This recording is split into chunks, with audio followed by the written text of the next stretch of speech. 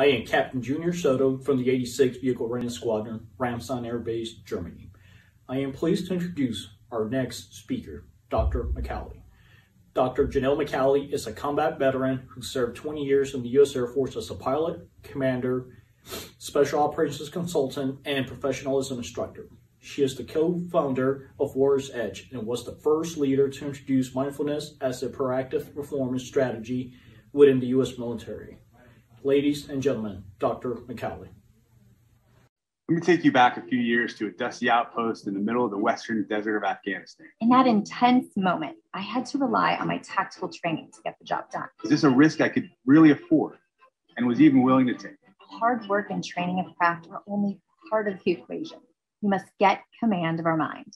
As humans, there's only three things that we can train our craft, our body, and our mind. We're pursuing our best. It guides everything that we do. Not many days in my life feel like that night in Afghanistan.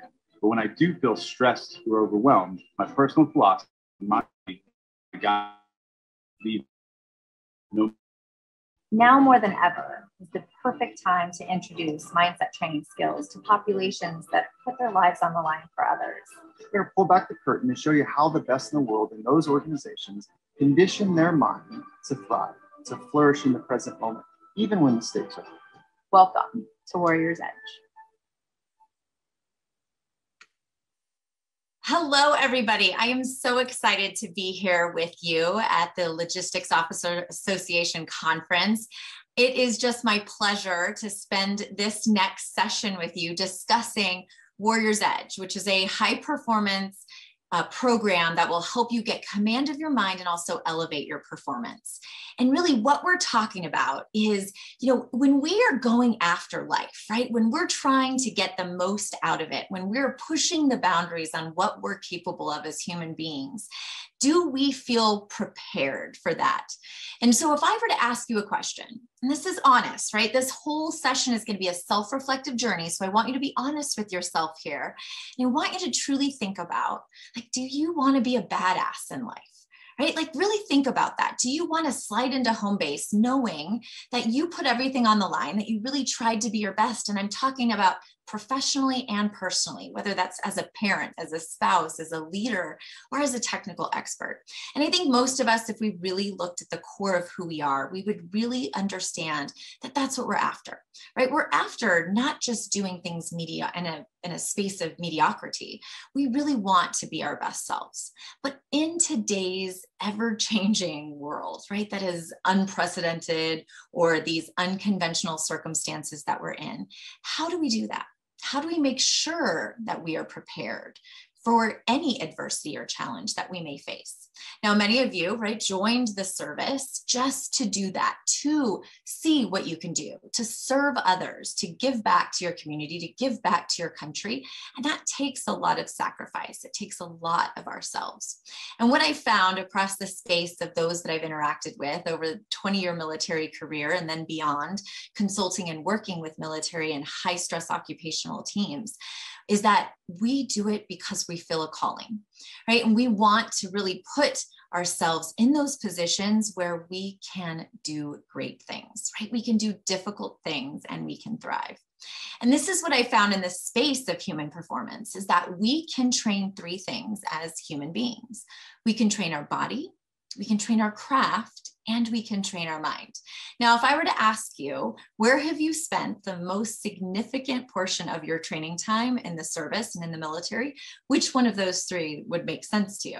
Right? Many of us understand training of craft, and that's because we spend a significant amount of time training to be technical experts, whether that's being a maintainer, whether that's as a logistician, whatever your focused area is, transportation, support, we are going to train you and in a focused way to be your best in that occupation. We also, in the military, we understand training our bodies, right? It is necessary for us to have physical activity because we know that it supports our ability to be high performing. So, those two aspects, right? We got that. But when I ask you about training your mind, that might seem a little foreign, foreign to some of you, especially if I asked, Have you trained your mind in a very formalized way? Now, that's something that I think we can no longer just leave on the table, right? If we want to truly be high performing, if we want to be prepared to be badasses and kick ass in this adventure we call life, especially as we put ourselves in high stress and rugged environments, right? Which is what the military does, right? We are not just expected to do our jobs when everything is, is great. We are expected and, and in easy. We are expected to do our jobs when things are not, right? In those combat environments, in those spaces where it is unpredictable, where it is stressful. And so, if we don't train equally our body, our craft, and our mind, we are not taking advantage of our true potential to be our best. Now, where does a lot of this research come from? I have studied the people who are the best in the world at what they do. They push the boundaries and the envelope on what is what they're capable of as human beings. And what we found is that there is a common thread right? They train their bodies in a world class way. They train their craft to be prepared for whatever circumstances and environment they're in. But they also train their mind so that they can have clarity and creativity when the pressure's on. Because here's the thing almost everybody these days is really good at what they do. But what makes the difference is can you command your mind? when the pressure's on? Can you do difficult and amazing things, right? When it really counts, when in our job and in our occupation, when lives are on the line, can you do that? And are you prepared? And I would argue if you haven't invested in the space of training your mind in a formal way, you're missing out on the ability to be as prepared as you possibly can for these environments. And that's what we found, whether it's Kerri Walsh Jennings, whether it's Kobe Bryant, um, LeBron James, any of these high elite athletes, from Tom Brady to even Aaron Rodgers, have recently said that training their mind has been a critical aspect of their ability to be high performing. Because here's what training our mind does for us it helps us live more in the moment. And when we live in the moment, that is where greatness happens. That is where we can execute our performance in a world class way. So, are you prepared to do your job to the best of your ability. Now, I know I'm going to tell you a little bit about my story because we all have stories about how we came across this space where we found necessity in training our minds, right? All these elite athletes have stories, even CEOs that are finding that they've hit burnout and they're finding that the aspect of getting command of their mind has significantly changed the way they live their lives. So that's my challenge to you to take this session where we are going to talk about training your mind with an open mind, right? And self reflect on what you can do better in your life to potentially see the world around you and see your stress in a different way so that it actually can benefit you instead of hinder you. And I know that that is a tough and challenging space to go to. And that's because of my personal story. I spent 20 years in the Air Force. And for all intents and purposes, if you would have looked at me about 13 years into my career, you would have thought, gosh, she has everything going for her, right? She's got a career and she's a leader and she's doing well in the Air Force. She's getting promoted, doing all the things she needs to do to set herself up for success, as well as having a family and a military spouse. My husband actually was a maintenance officer. So we were kind of bridging that maintenance and ops gap during our career. But I actually found myself in this space where I looked around one day and I realized that I had, I had forgotten how to laugh. And I lost sight of all the love that was right in front of me. And I was so busy trying to be perfect at every single thing that I did. I forgot that there was growth and learning within my imperfections. I actually completely lost myself. And I don't know if many of you are in that same space or you feel you're approaching it, or you see your peers around you, or even the people you lead. They are also facing these challenges because here's the thing most of us go through life inside our heads, listening to the stories we tell ourselves. And most of the time, we make deals with ourselves that sound something like, well, as soon as I finish this degree, I will finally start taking care of myself. As soon as I finish this command position or this big project or tasker, I will finally start paying attention to my family.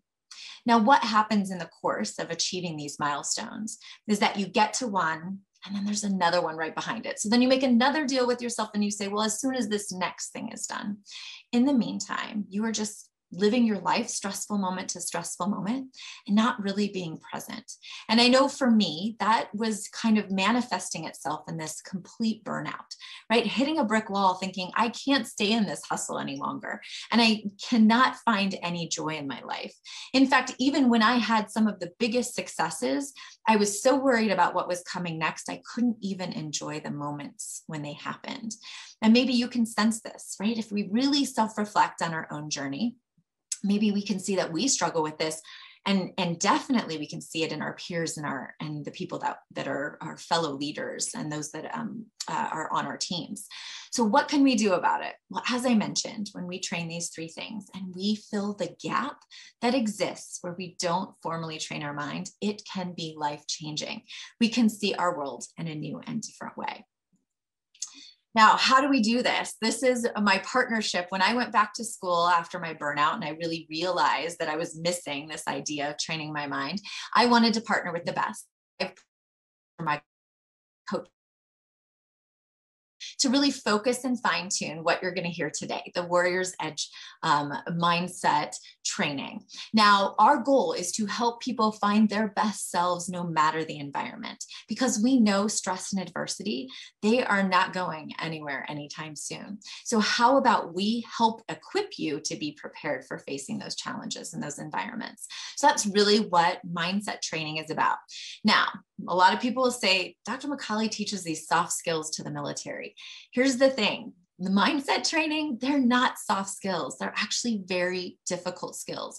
I'm talking about cultivating self awareness, emotional regulation, the ability to live more present and focused, live with clarity and creativity that is a difficult and hard thing for most of us to do because stress and overwhelm really can do a number on our ability to stay present, our ability to be a high performer, especially in moments where it counts. And so we're going to train you or teach you the first steps in how to train your mind to better prepare you for any environment. Now, how do we do that? We've actually, through two lenses, that of scientific research and evidence-based practices in alpha and testing in alpha competitive environments, we have determined that there are 16 principles of mindset. So 16 things that you can train your mind, right? And what I'm talking about is not just learning about the science, which we will do, but then finding a way to execute and train them every single day in a very formal way. Instead of making it something that you just think about or you do every once in a while, this becomes a real formalized practice. And that's the best way to really get command of your mindset. Now, I like to say the majority of the catastrophes you will experience in your lifetime will only happen inside your head but they will feel very real because that is how powerful our minds are. In fact, our minds are fantastic.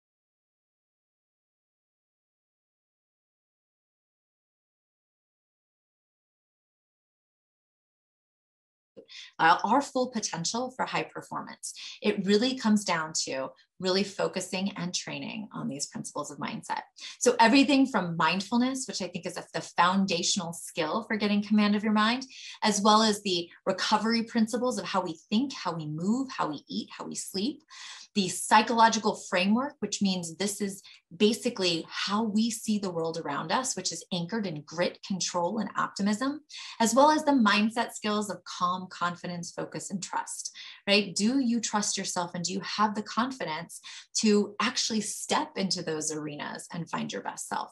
And then that center piece, which is our self discovery. This is where I'm asking you to really self reflect on who you are, not just about what uniform you wear and what job you have, but who you are at your core.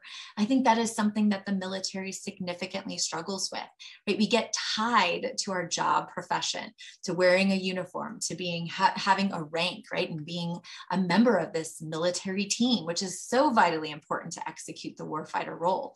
But what happens when we take those uniforms off? When we transition out of the military, whether that's retirement or separation, when we transition from a deployed environment back at home, if you don't know some of these really deep answers on what your personal philosophy is, what is important to you, what makes you you, right? You're going to kind of struggle in life. And that's where I found myself in that course of my military career right there were many times that i just got tied to this identity that was that i was a pilot and i was in the air force and that that was um, what made me me. Instead of letting the doing flow from the being, right? We have to understand who we are and then let the doing follow. But we sometimes do it backwards. So a whole bunch of discussion points and training really goes to figuring out, right, that self-discovery piece and, and, and who we are. And that's something that I noticed when I was in the Air Force, many people struggled with. We never really ask someone like, you know, tell me who you are. We say, tell me what you do. And so that it's just redefining the narrative and the language around how we mentor, right, those around us, both on our teams and those that are um, in our families because I'm going to talk about both because I think they're so vitally important. So these are kind of the, the concepts that the program is really um, based in. Now, if I ask you if physical exercise benefits or physical activity, I think everyone understands that. In fact, um, here's the fun fact about physical exercise, and I love to use this meme from Anchorman. You know, I believe it's jogging or yogging. It might be a soft J. Now, when there was a time, maybe 50 years ago, that if you were to ask or you were to tell someone, hey, I'm going to go for a run, they would have said, why is someone chasing you? It would have seemed really strange to actually say, I'm going to go out for a jog or a run. It just wasn't really a thing we did as a as society. Now, when scientists started to look into the concept of physical exercise, right, they actually determined, hey, this is this is good for us, right? When we move our bodies, it does a whole bunch of great things for us. It improves our flexibility, our agility, our strength, our endurance, changes our body uh, mass. It can actually get our brains firing better. So when the scientists kind of came in and started looking at it, everybody started to do it. It became part of our social norms in our society. In fact, this is the cover of People magazine from 1977, right? Jogging, it was the new craze and everybody started doing it. But right, as I mentioned, this was not always a common thing. So I'm trying to make the analogy that if you're kind of thinking mental skills training, this sounds a little skeptical, I'm not really sure about it. Here's what happened with physical exercise, right? It went through the same evolution and a journey. And I think we're just at the same moment in life where in the 1950s and 60s, people were sitting too much, right? We stopped laboring, we stopped moving our bodies. And the military actually realized that. In fact, running and jogging was started in the United States Air Force by Dr. Ken Cooper, who was a flight surgeon. And he was tasked by the Air Force to get astronauts into space and fighter pilots to pull G's because we were not physically fit enough to do so. So physical activity came out of military necessity and started in the Air Force. I think we have the same opportunity here with mental skills, right? How many of you have maybe watched the, the Social Dilemma on Netflix, right? It's a documentary that really discusses our digital devices and in particular, social media, how it's giving us this dopamine addiction, how we are becoming becoming so tied to this you know our new reality that's in a virtual world instead of really connecting right on that real level with people that are in our real lives and the things that are happening right in front of us so it is taking away it's highly distracted distracting and taking us away from being in the present moment so I think now more than ever, we need an antidote to that, right? We need to continue this evolution where we start to actually formally train our minds because we know we need to to stay on the cutting edge of our ability to be the best air force to be the best military in the entire world so, what do I mean by getting that warrior's edge mindset? What does that give you, right? What does form, formally training your mind? What, what do we get as the end result? Well, what we're really building is psychological flexibility. What happens when our bodies and our brains are faced with stress and adversity, which again, I told you that, that that's what our world is full of. That's not going away anytime soon. When we're faced with that, our brains go into survival mode. And when we're in survival mode, we're operating from this space where we are just in our stress response, right? We are trying to make rapid, more emotional than rational decisions. Now, when we build up psychological flexibility, that means that we've front loaded with these mental skills that can actually help our brains not just survive when we're faced with stress and adversity, but thrive. It helps us stay in a rational space for making decisions, for us not to choose maladaptive coping, like substance abuse or um, uh, high risk behaviors when we're faced with those challenges. And I know many of our young airmen today are, are sympathetically activated, right? They like that uh, stress response. And when they have to stop and relax because they've never been trained how to do so, right, it can be very challenging, right? They're going to go in that survival mode, which is where we make poor decisions and with respect to how we lead our lives and ultimately perform. So we want to build that psychological flexibility, which is increases our cognitive capacity, right? Our ability to make those rational decisions. It builds mental strength so that we can be exposed to psychological and emotional trauma and actually bounce forward from it, build that res- mental resiliency, right? So that we can be better for having experienced those those sessions that really at times might have had failure and stress associated with it but that also can equal growth and ultimately, we want to build a pathway to sustainable high performance. I think one of the common issues we have in the military today is that we can only be in this hustle, right? And the deployment and the do more with less for so long until we hit those brick walls. I know that most of us, after the about 10 to 12 year point in the military, we are physically, emotionally, right? Mentally exhausted. It's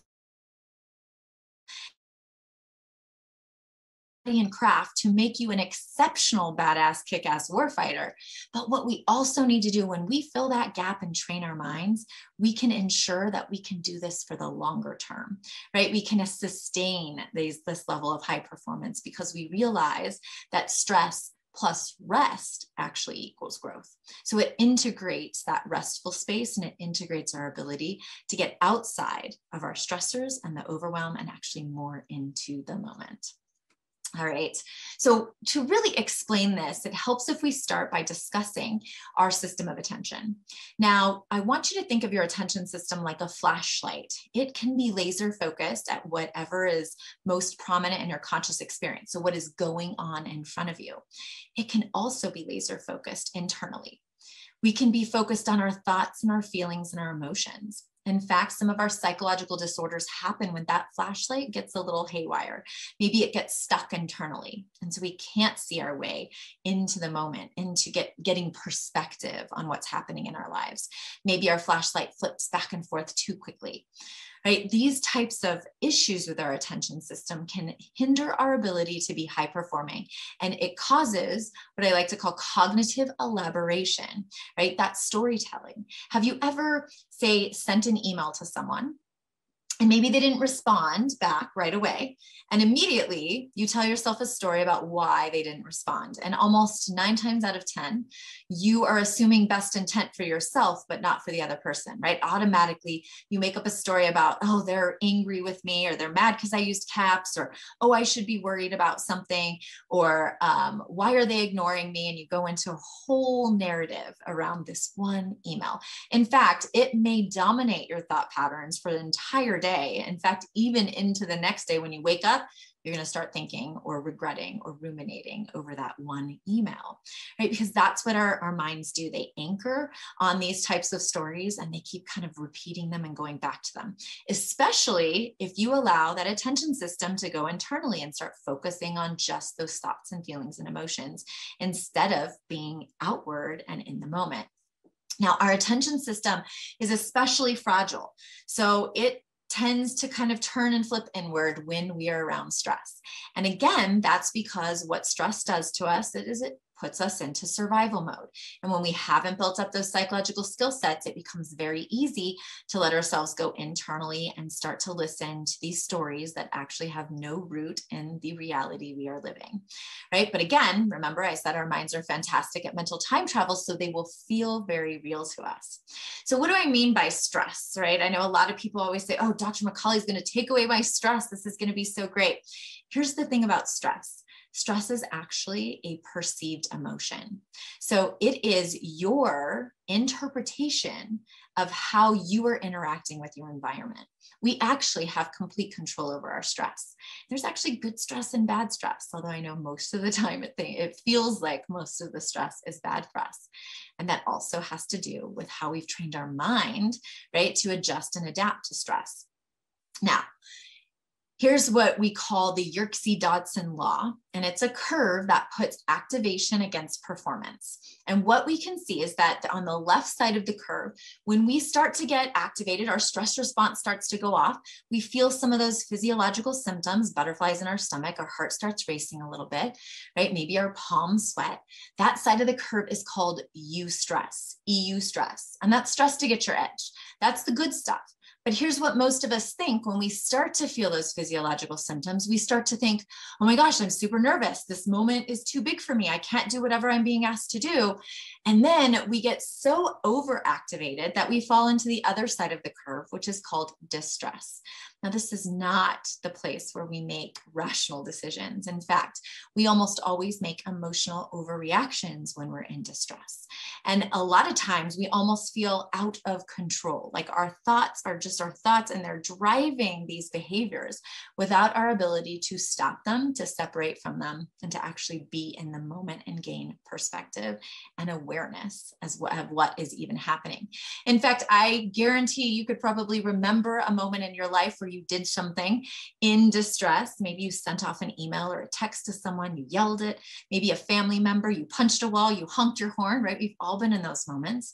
We almost feel like almost immediately after, why did I just do that? I didn't mean for that to get out of control. That's what distressed us. Now, just think about this. What if when we started feeling those physiological symptoms of stress and we were in eustress, we told ourselves, you know what this means? These sensations mean that I'm about to do something that's important to me.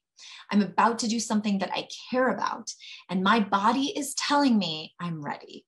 Right? Just the simple act of changing the narrative right? Of being more aware that even those sensations are happening right? And then choosing a different path forward right? That can keep us in eustress instead of sending us off that deep end into distress.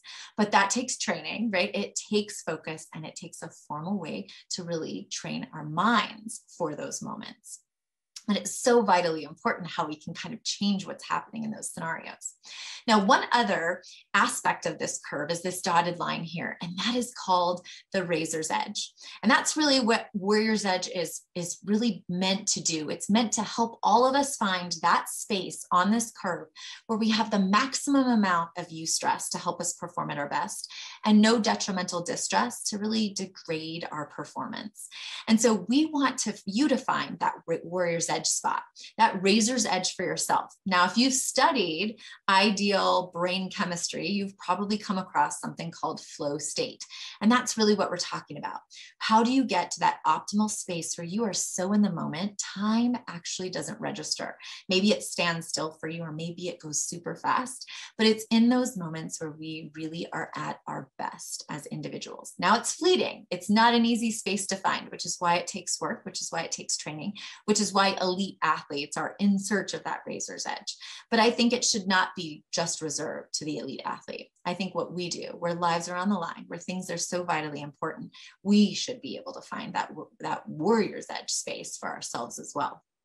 Now, it can be very difficult. I told you our minds like this um, mental time travel uh, genius. So we can kind of think of our minds like an iPod, right? Instead of thinking in fast forward and worrying about the future, thinking and rewind and ruminating, ruminating on the past, what if we just sat on the play button? What if we trained our minds to be more on the play button? Right? It can be a very difficult thing for us to, uh, a different, difficult space for us to find, but I guarantee you that's where greatness happens. Now, it can be difficult because of this concept called mind wandering. So, our attention system, remember, it's that flashlight. When it flips inward many times, it can happen unintentionally. Now, we've all read a page in a book, right? And you got to the bottom of the page and you thought, I don't even remember what I just read. Or maybe you drove your car somewhere and you realized, you know what? I can't even remember what roads I took to get here. That was because you were mind wandering. Now, what I mean by mind wandering is having an unintentional or off task thought during an ongoing task or activity. I am trying to focus on reading the book or driving my car. My mind takes me elsewhere. And in fact, the research will tell us that that happens 46.9% of your waking moments. You are not paying attention to what's going on right in front of you. And what we've also found with the research is that when that happens, when we have these off task thoughts, we tend to think toward the negative, right? We have unhappy, unpleasant thoughts, right? When our mind wanders, it rarely wanders to some amazing vacation you have coming up, right? It's going to mind wander to all the things you have to do before you leave on vacation, or maybe even all the things you know is going to be left for you when you get back. So even when you're out there on vacation, instead of being in the moment, instead of enjoying time with your family, you're going to constantly be mind wandering about all these worries, all these ruminations over what may or may not have happened in the past, or all these catastrophes you're going to build about the future. Right. So, this is a very real concept. In fact, there was a moment where I was with my son, um, Andrew. He was three years old, and I was giving him a bath. And I was a commander at the time. And so maybe some of you have um, positions right now where inside your head you make deals, right? That whole like, oh, I'll take care of myself at this point. Well, I told myself, and the story was that I am going to be home every night for bath time and bedtime with my kids, like as much as possible. Uh, that is going to be a priority for me. I may not always make dinner because of my job as a commander and leading a team of hundreds of people, but I'm going to make it a priority to be there for bath time and bedtime. And for a while, I was doing that. And the narrative inside my head was like, look at what a badass mom and leader and all this stuff that I'm doing. I'm managing it all. Until one night, when my son is this little three year old, I'm giving him a bath, he stops me and he put his tiny little hands on my cheeks and he just looked up at me and he said, Mommy, why are you so sad? I love you so much, Mommy. Right then and there, I realized instead of being present with him, laughing, loving, learning more about him, I was mind wandering and distracted. I was not paying attention to that moment where I could be learning and loving and laughing with one of the most important people in my world. Now, how often have you been with people on your team that you lead, or maybe people in your family, people that are important to you, and you find yourself mind wandering and not paying attention. We've all had it happen. Maybe you've even walked into one of your boss's office offices at some point, and even if you can get them to stop typing on their computer and turn to look at you, sometimes you're telling them something that might be very important, asking for their mentorship or their leadership, and you can tell they're looking at me, but they're not really paying attention. And many times as leaders, we don't intend to do that. I don't think any of us ever says, Hey, I want someone that works for me to come into my office and I'm not going to pay attention to them. No, our intent is to pay attention, but our minds, as this research will tell you, are going to be distracted. And it's going to take a lot of training focus training for us to get a handle on that so that we can pay attention, so that we can connect with those around us, right? And really create the relationships that we need to be effective leaders and teammates. So this is a very real concept. Now, sometimes I get the question, isn't mind wandering good for us? Isn't that where we find creativity? I would call the, the two separate brain functions of mind wandering means that I'm unintentionally going into my thoughts. I don't want to go there. My mind just goes. Daydreaming is where I will productively go into my thoughts and just let my mind kind of take me to something that might be lead to creativity. Now you may be doing that, maybe solving a problem, thinking through a solution for something when all of a sudden you find yourself mind wandering and distracted about some stressor or worry. So it can happen, right? We can mind wander when we're trying to actually daydream and be productive. So just remember there's these two separate brain functions and we want to get that 46.9% of our day decreased. Now just at face value, I want you to think about that. Half your waking moments, you are not paying attention to what's going on in front of you. So if it takes you three hours to say, do a performance report, it actually only takes you an hour and a half. The other hour and a half, you're mind wandering and distracted. Every time your mind goes off task, you have to reconnect, think about where you were, which line on that performance report you were writing, right? That takes away our productivity and our efficiency as individuals. And I don't know about you, but I know as a commander, I didn't have that much time to waste. So if we can get control of this, imagine how much more white space you might actually find in your day. So, what is the solution for this amount of mind wandering and all of these things that are really distracting us in today's world? How can we stay on the eustress side of the curve? How can we be more present and live on the play button? Well, really, I told you in the space of physical exercise, we had this journey where scientists started researching physical exercise, and now there's hundreds of thousands of published articles to tell us that we need to exercise physically. In the space of mental exercise, there are only hundreds, maybe we're at a couple, you know, getting towards the thousands today. But in that space, good news is I've read all those articles for you. So I'm here to tell you that the most prominent skill set that will help us, right, in a cutting edge way, capture those thoughts to actually live more on the play button is the skill set of mindfulness. Now, it's not just about being more mindful, it's about doing the training, right, and the work to build up our, our, our awareness and our ability to emotionally regulate and to stay on the eustress side of the curve, especially when we're faced with adversity. This is why mindfulness is the foundational skill set of all the other mindset skills that Warriors Edge um, mindset um, focuses on is mindfulness is mo- most important because it helps us disconnect from the unhealthful, unhealthy thoughts, helps us disconnect from really any kind of non helpful dialogue and that cognitive elaboration, right, that happens inside our head in an unintentional way. So that's why it's the first skill set that we find so important. And I equate it to doing mental push ups. It's really a way to strengthen that attention system to live more on the play button.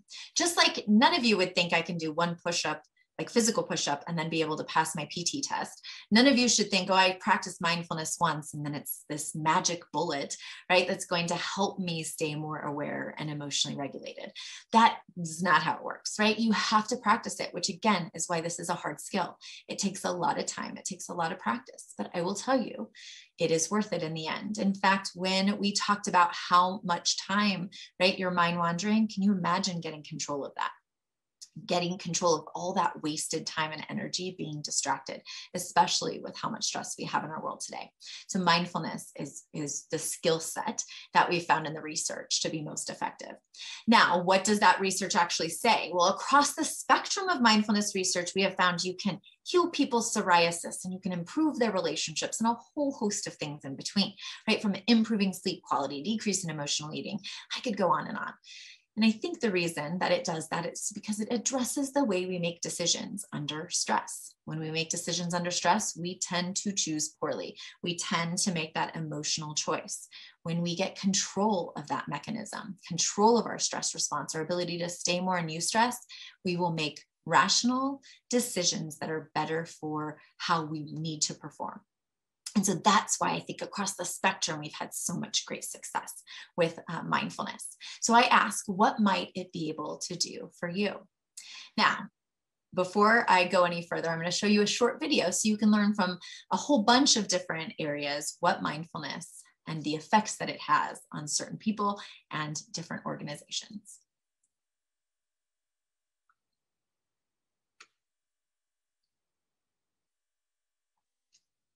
With the Bulls in the beginning here in Chicago, and then moving on to the Lakers, especially with Kobe Bryant. And you knew you had to create a team. You had to build a team. You know, I, I approached it with mindfulness. Mindfulness. You know, I, I approached it with mindfulness.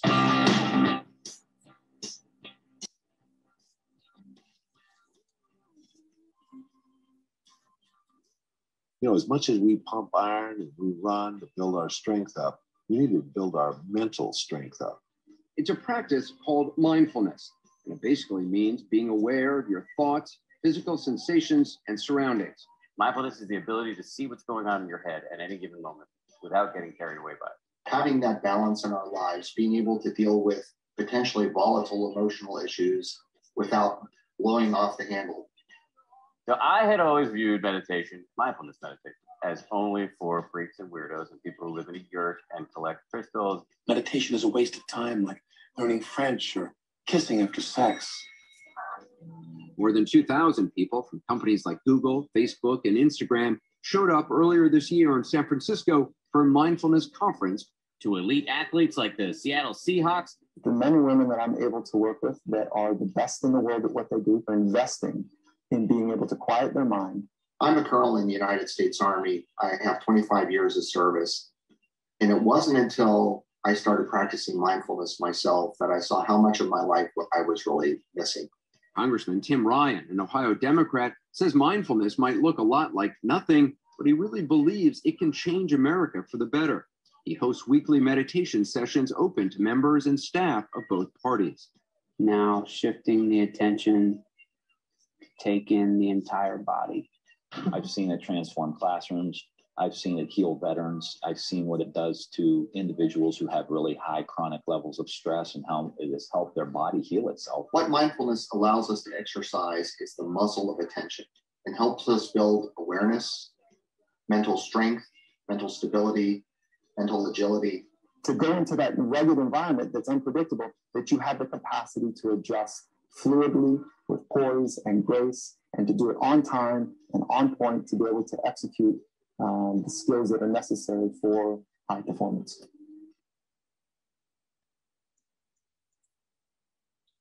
So that last quote by Dr. Gervais, where he says to be able to go into stressful and rugged environments and know that you have the capacity, the psychological flexibility to adjust and still be a high performer, regardless of what's coming at you.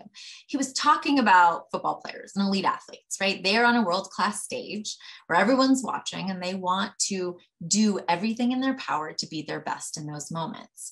Now, he could have been talking about what we do, right? We are expected to go out into hostile and rugged environments and execute our high performance skills and be able to adjust when things don't go our way, which we know, right? The, the plan is great until the first contact with the enemy, and then it goes you know where. So we have to be able to have prepped ourselves, especially by training our minds to be in those environments and adjust fluidly to be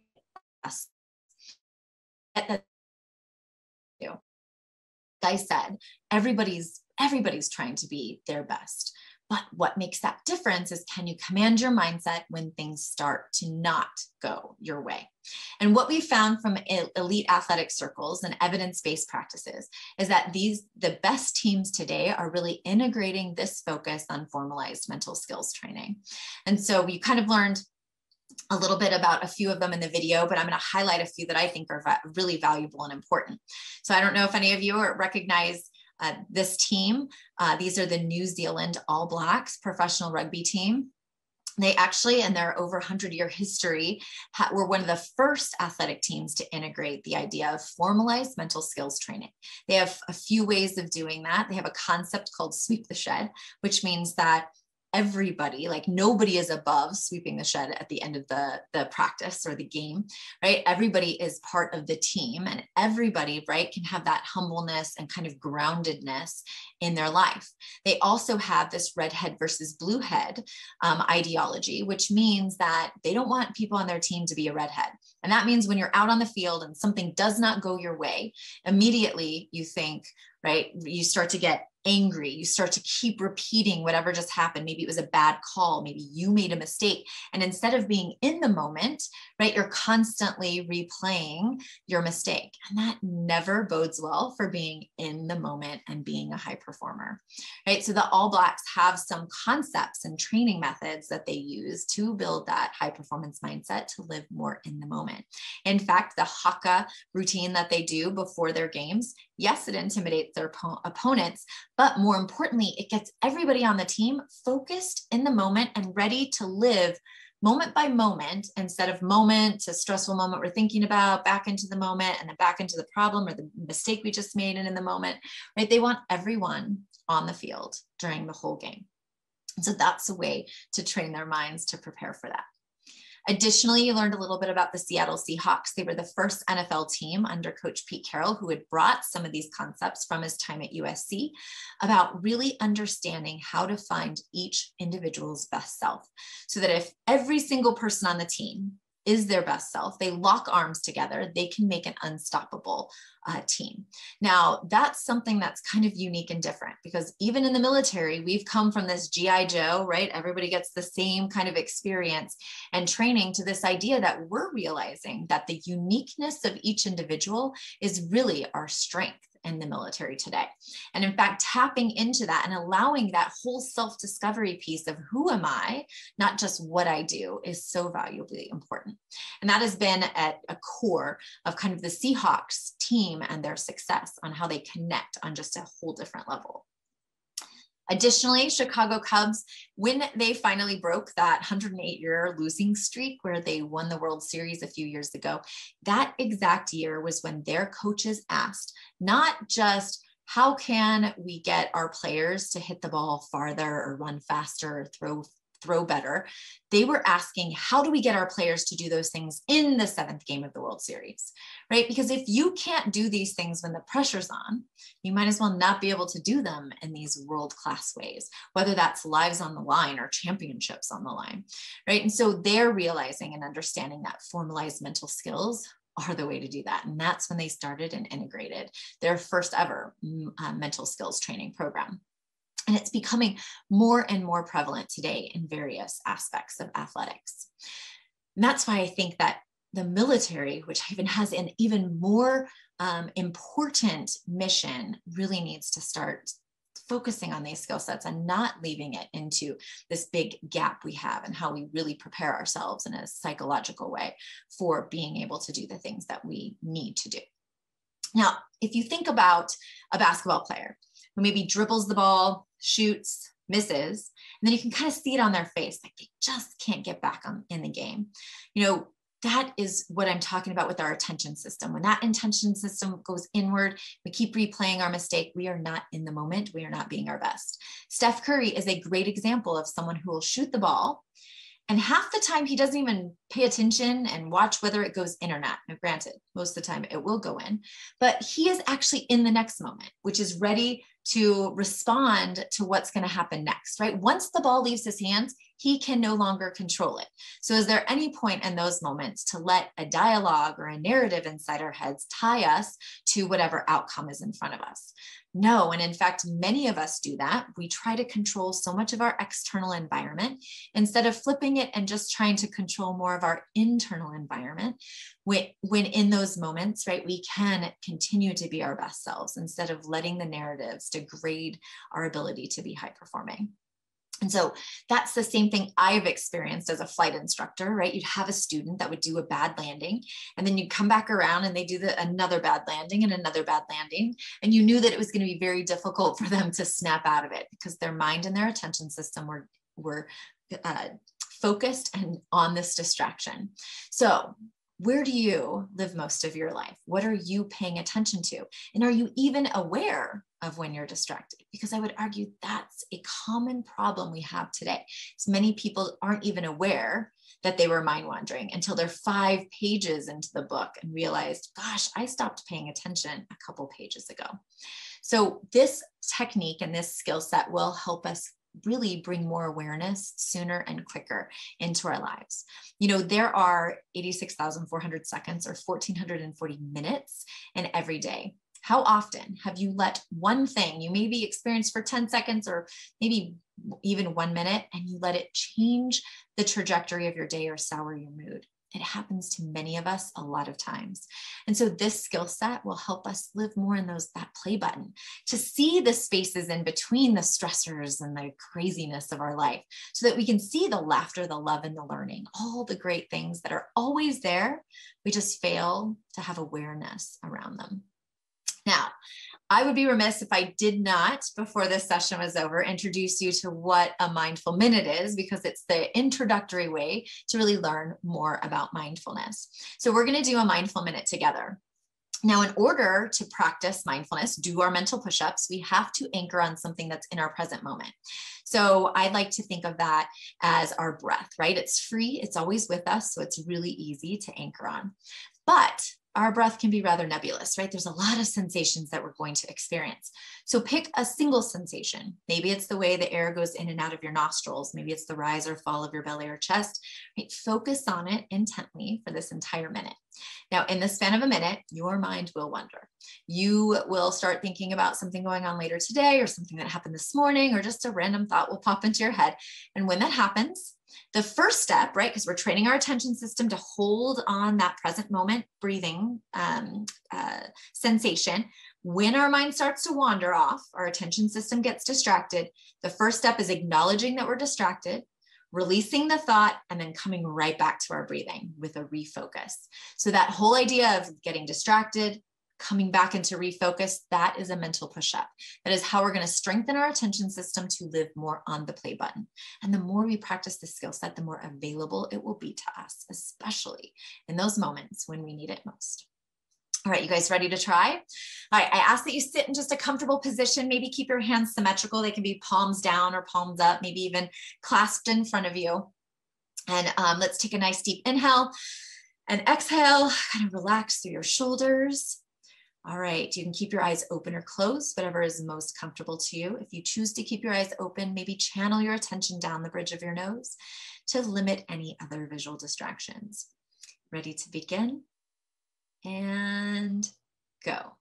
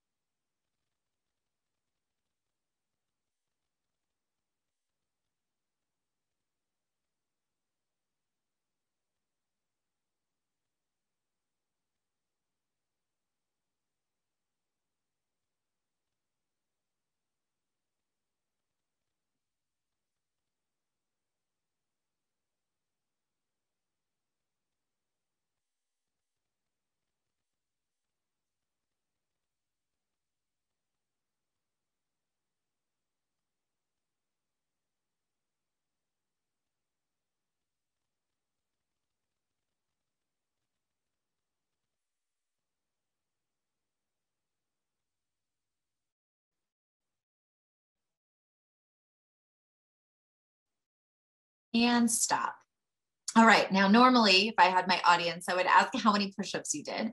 So I just want you to think about that. Did you do maybe five, maybe 10, maybe 60 mental push-ups just now? And if you did 60, it's it's okay, right? This is a practice. And in fact, the, what that should indicate to you if you did a lot of push-ups within that minute is that you are a highly distracted person. And so this is a skill set that can help you, right? Get control of that. Now, when I talk about mindfulness, and some people saying it's an easy skill, right? Taking deep breaths seems on the surface very easy. But the idea is that we are exercising our attention system. We're training our minds to get more on the play button, and we're disconnecting from those thoughts, right? Just because a thought pops into our head does not mean that we have to give it control and focus, right? We can choose better thoughts, right? Choose how to kind of like and uh, really tap into our emotions in a way that is helpful to us right? And so this is something that is going to take practice. So if any of you thought like after that minute i don't feel badass. So that's not the answer, right? Like that one minute is not going to make you a badass. It's the repetitive practice. And where you'll find that it'll be very beneficial is that you've done all the work, right? This is not about, I'm in a stressful moment, I should practice my mental push ups. It's that you've practiced the mental push ups so that when you're in those stressful moments, you have made a mind body connection so that when your stress response goes off, just as it did when our ancestors were running away from saber toothed tigers, what signaled safety to them when they finally got out of harm's way was that they took one deep exhale. I'm safe. And that one deep exhale told their mind, you're safe, you can calm down, you can relax. So when you're in that moment, whether you're in a convoy, you're making a big, big decision at work, you're just dealing with kids as you're trying to get out the door in the morning to get to school, or you're dealing with the COVID chaos that's around us on a day to day basis, if you've trained your mind and you've done this practice in those moments, you feel yourself going into distress, you can take a single deep breath, trigger that relaxation response, that safety, and you can come back into the eustress side of the curve it can be so powerful for all of us. All right. So these are all the aspects of getting the warrior's edge mindset, but we focused on what I think is the most critical skill, which is mindfulness. That's where we have to start. We have to start with awareness, awareness of what our thoughts, where our thoughts take us, awareness of how our stress response works and how actually eustress and a little bit of those physiological symptoms are good for us and mean that we care and we're doing something meaningful and that we're ready to rise to the challenge. So I want you to start there. It's Really start by practicing mindfulness, these mental push ups. Find what works best for you. Maybe that's doing 10 to 12 minutes, which is the sweet spot we're talking about with the science a day, but you don't have to do all 10 of those minutes in the morning. You can like mix them up with these mindful minutes throughout your day. I found that I'm such a highly anxious person. By the time I get to two o'clock in the afternoon, I'm already starting to get highly in, in uh, anxious and into distress pretty regularly. But I found that when I do mindful minutes throughout my day, I can increase my ability to maintain my mindful awareness for longer periods of time. So I want you to find what maybe works for you and in your life.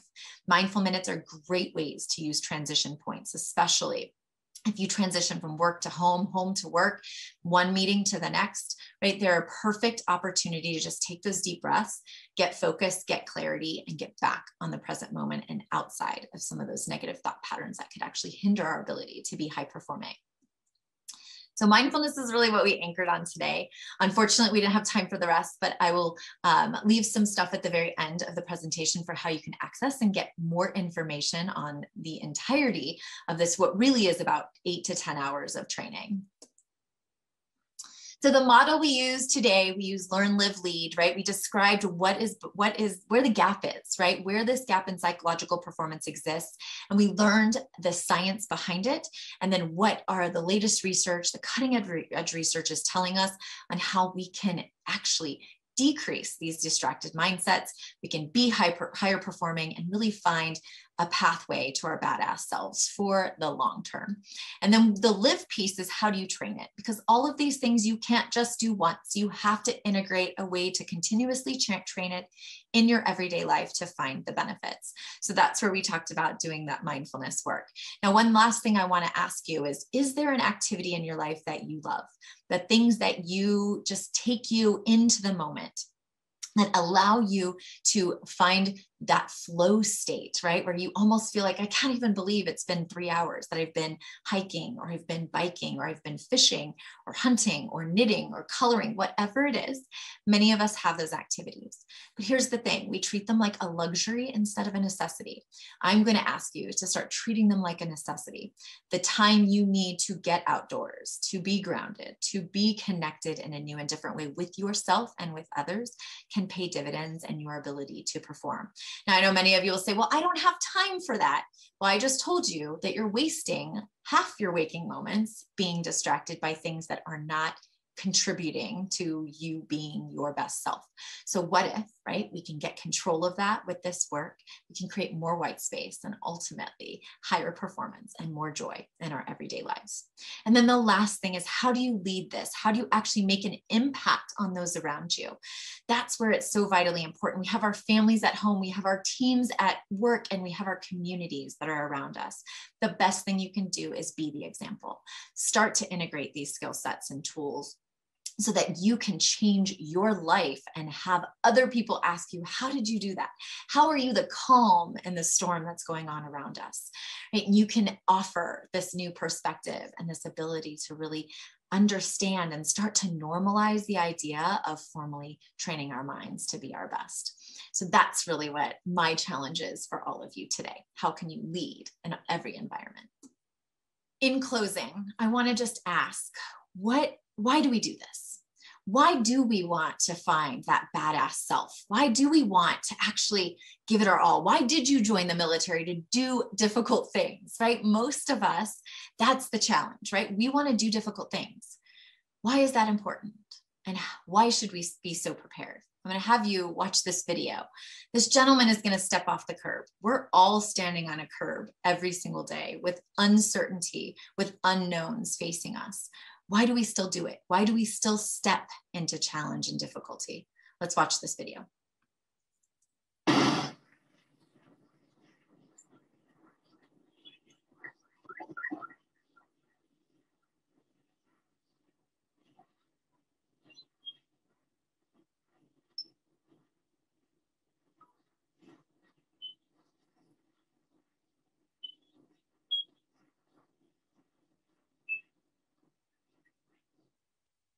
Did you see what he did there at the end? Right? He raised his arms. He was like, Yeah, look what I just did. That's why we do it. We do it because we want to celebrate, not just with ourselves, right? He turned around to his buddies. We want to celebrate with each other. We want to do difficult things and we love the feeling that occurs after we've done them right? Because when we stepped off the curb, just like he did, and we step off the curb every single day in our lives, we don't know what's coming. And part of that uncertainty makes what we accomplish even greater. And so to find that badass selves, you're going to have to take risks. You're going to have to do things differently. And you're going to want to be as prepared as you possibly can to find that aspect of greatness in yourself. So are you training body, craft, and mind so that you can step into the unknown, knowing that you've prepared for that risk taking. And then knowing that no matter what happens, you're going to do difficult things and there's going to be this amazing moment on the other side that you get to share with yourself, with your teammates, both at home and at work. So I want you to focus right on how do I get that that that space to find my badass self, knowing that you don't want to leave anything on the table. And so investing in really training your mind might be a little bit strange, might be something new, but it's going to be worth it in the long run.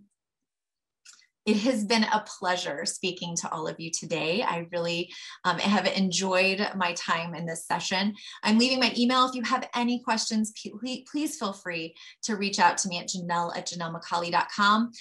Again, I'm also on all the social media platforms. I would love to connect and hear your stories and how you're using mental skills in your life. I also uh, post latest research in the space of human performance. So everything from sleep, which we didn't even get to today, but that's an important aspect of how we can perform at our best and stay really on that play button.